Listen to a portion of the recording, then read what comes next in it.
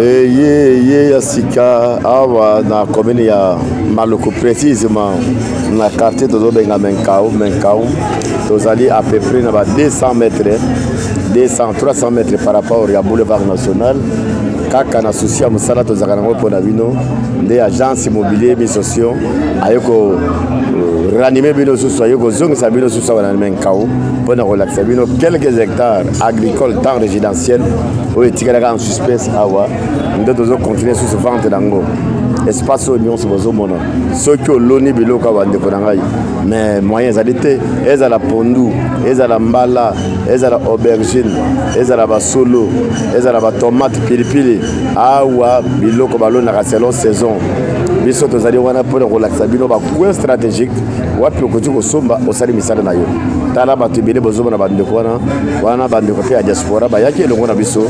ye aye kozwa 5 hectare na ye awa abi ya kozonga mpamba te faso basin nde toyaki na bango na place oyo yao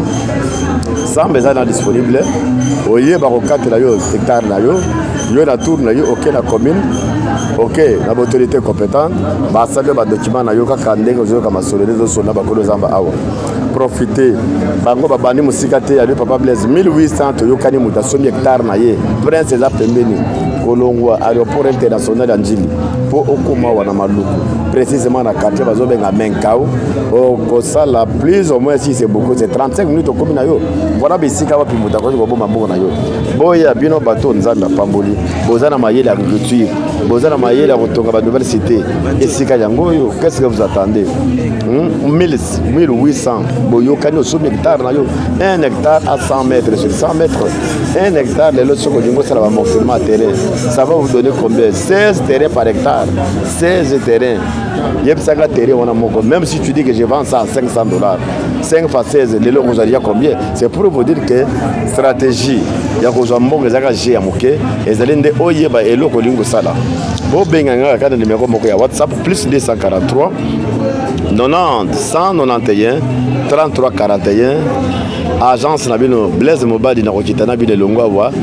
na oyo kolakisa bino esika oyo mete mama oyo azalaka mpe cliente na biso yesi asomba asali deja bilanga na ye aloni bapondu aloni masango na ye mbala eza mpe wana aloni mpe na bapasteke ayebi ke koproduire bilanga moto akoeshuwaka te na bilanga amoin ke tu na pas mis la volonté de travailler soki eza na eloko nzambe apambolaki bandeko na ngai eza mabele mabele ya kala ezalaka te ere yango oyo bazambe bandi kosila ndeko na ngai profite concession na yo profite esika na yo un jour oyo obandi kosala batravail oye mpe na bana na yo bolekisi journée na bino okomi concession na yo etikali mpe ya yo libela libela soki okotonga bandako soki okontinue kaka na agriculture cela dépend n'est ce pas ya ambition oza nango ya baprojet oza nango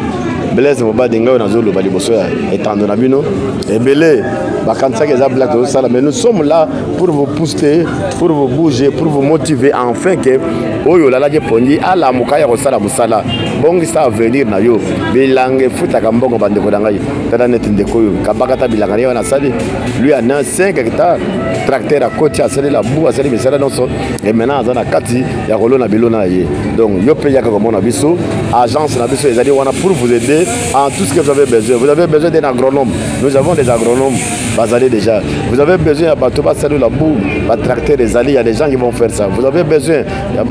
la travail. Mais des vrais, les gens sont déjà là disponibles. Ils vont vous aider. Et ont documents. Moi-même, je suis expert en matière de document. Je vais vous amener dans ma bureau à l'État afin que vous obteniez